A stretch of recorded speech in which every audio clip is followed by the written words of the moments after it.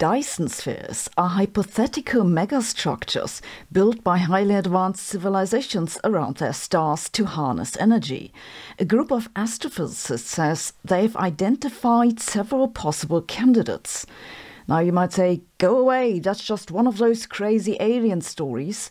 But I'm hoping to convince you that this isn't as crazy as it sounds. A Dyson sphere is basically a giant power plant that wraps around an entire star. The inside of the sphere would be covered in whatever the aliens call their super duper version of solar panels. That grabs off the energy, and if you want visible light on your planet, you can use that energy to create it where you need it. Dyson spheres are named after the physicist and mathematician Freeman Dyson, who came up with the idea in 1960. Compared to normal stars, such structures would appear unnaturally dim in the visible range. But since they'll inevitably get warm when they harvest all that energy, they'd still emit waste heat in the infrared. There isn't any type of star that we know of that naturally looks like this. A group of astrophysicists has now identified seven possible candidates whose emission characteristics look like Dyson spheres. They could just be weird stars or stars covered by dust or something else, like maybe giant hot potatoes, but maybe they're the real thing. These candidate objects will now be investigated further. I don't think this is a crazy idea for the following reason. Technological progress is strongly tied to energy access. We know this from all civilizations that we've ever looked at. The more advanced, the more energy they use. This is basically why I think degrowthers are enemies of humanity, but I digress. Now, we hear a lot of talk about how we're not using all that wonderful solar energy that reaches us every day from our magnificent sun. If we covered the entire surface of our planet with solar panels, that'd deliver several thousand times the current global power consumption. But most of the energy from the sun never reaches us in the first place. It goes into outer space. Such a waste. If we covered up the entire sun, that'd be at least 10 trillion times the current global power consumption.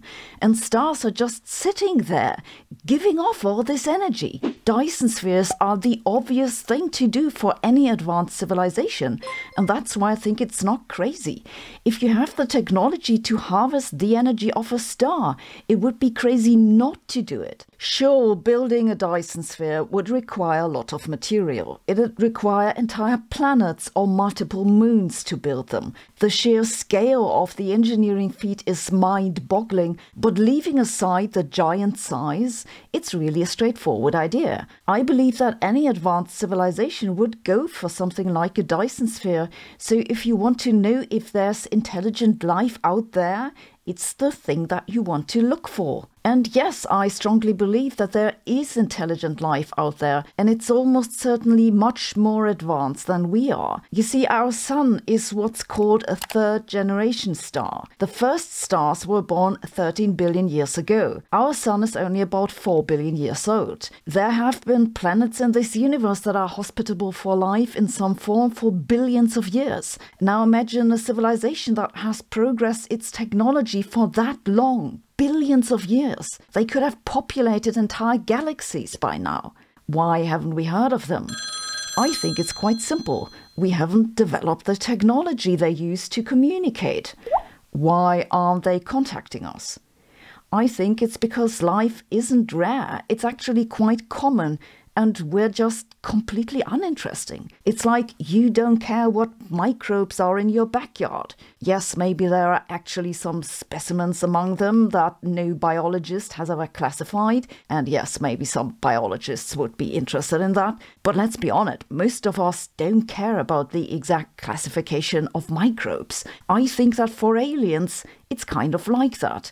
We're just another backyard variety, and a pretty stupid one in addition, seeing the problems we're causing ourselves. Have they been here?